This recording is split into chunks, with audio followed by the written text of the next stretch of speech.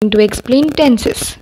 So first of all, what is tense? Tense uh, is a term that uh, that defines us that the action was performed when, where, and how.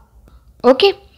So first tense that we are going to know is simple present tense. सबसे पहले present tense की मतलब समझ लो present tense यानी जो भी action present में हुआ अभी हो रहा उसे हम प्रेजेंट टेंस कहते हैं प्रेजेंट टेंस के फोर फॉर्म्स होते हैं, जो कि ये simple present present continuous present perfect और प्रेजेंट प्रेजेंट परफेक्ट कंटिन्यूस इस वीडियो में मैं सिर्फ़ और सिर्फ़ सिंपल प्रेजेंट टेंस के बारे में बात करूँगी।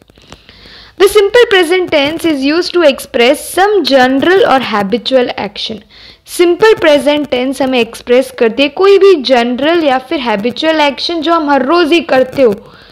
जो हमारी आदत हो, जो हमारा रूटीन हो, जैसे कि ऑनलाइन क्लास हो गया, जो हम हर रोज़ सुबह लेते हैं तो वो सिंपल प्रेजेंट टेंस में आ जाएगा। एग्ज़ाम्पल है the sun rises in the east sun कहाँ पर राइज होता है? ईस्ट ये एक ऐसा एक्शन जो हर रोज़ होता है। जो स्ट्रक्चर होता है सिंपल प्रेजेंट टेंस का, वो क्या होता है? वी वन प्लस एस और ई एस वर्ब के फ़र्स्ट फॉर्म के साथ एस नहीं तो ई एस लगेगा।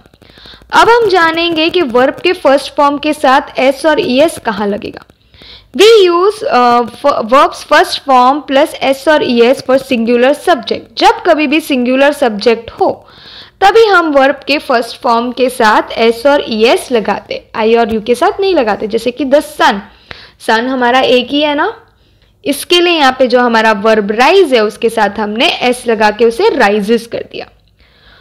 अब जब कभी भी हमें सिंपल प्रेजेंट टेंस को नेगेटिव में करना है to change simple present tense in the negative we use do not और does not with V one अगर हमें सिंपल प्रेजेंट टेंस को नेगेटिव में कन्वर्ट करना है तो हम क्या यूज़ करेंगे? डू नॉट और डज नॉट यूज़ करेंगे वर्ब के फ़र्स्ट फॉर्म के साथ।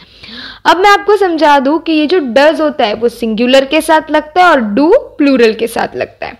जैसे कि मैंने एग्ज़ाम्पल यहाँ पे दे रखा है। They do not live in this house और ये जो डू नॉट है वो हमेशा वर्ब के पहले आएगा ओके तो दे डो नॉट दे यहाँ पे मेरा प्लूरल सब्जेक्ट है इसके लिए मैंने डू लगाया। He does not live in this house he मेरा सिंगुलर सब्जेक्ट है इसके लिए मैंने यहाँ पर डज uh, लगाया। One second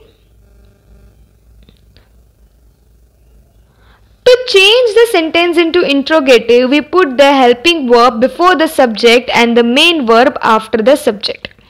अब क्या हो जाता है? जब कभी भी मुझे सिंपल प्रेजेंट वाले सेंटेंस को इंट्रोगेटिव में कन्वर्ट करना है तो मैं क्या करूँगी? सब्जेक्ट के पहले डज लगा दूँगी और मेन वर्ब के पहले सब्जेक्ट जैसे कि मैंने यहाँ पे imagine Raman help the poor अगर मुझे इसको नेगेटिव में सॉरी इंट्रोगेटिव में कन्वर्ट करना है। तो मैं मेरा जो सब्जेक्ट होगा वो कौन होगा? रमन होगा। तो रमन के पहले मैंने यहाँ पर डज लगा दिया और सब्जेक्ट के बाद मैंने अपना वर्ब लगा दिया।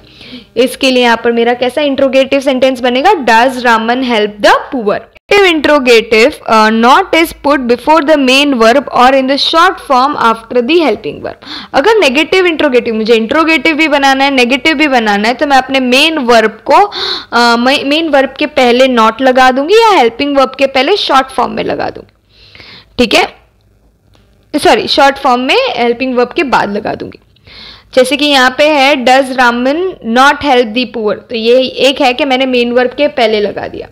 और दूसरा क्या है कि मैं डज के साथ ही लगा दूँ। डज इज़ माई हेल्पिंग और doesn't Raman help the poor तो मेरा यहाँ पे डज नॉट शॉर्ट फॉर्म में लगेगा पर वो doesn't Raman help the poor यहाँ पे ये कुछ चीज़ें आपको याद रखनी है। सबसे मेन है कि आप स्ट्रक्चर याद रखोगे। स्ट्रक्चर क्या है? इसका वी वन प्लस एस और ई एस वर्ब के फ़र्स्ट फॉर्म के साथ एस और ई एस लगता है।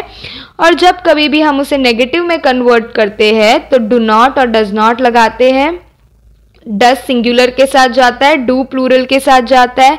इंट्रोगेटिव में कन्वर्ट करते तो सब्जेक्ट के पहले हेल्पिंग वर्ब आ जाता है। अगर इंट्रोगेटिव और नेगेटिव दोनों कर रहे हैं तो सब्जेक्ट के पहले हेल्पिंग वर्ब और मेन वर्ब के पहले नॉट लग जाएगा। और वर्ब के साथ वर्ब के फ़र्स्ट फॉर्म के साथ एस और ई एस कब लगता है? जब वो सब्जेक्ट सिंगुलर में हो। So, this was the explanation of simple present tense. I hope you guys understood well. Thank you.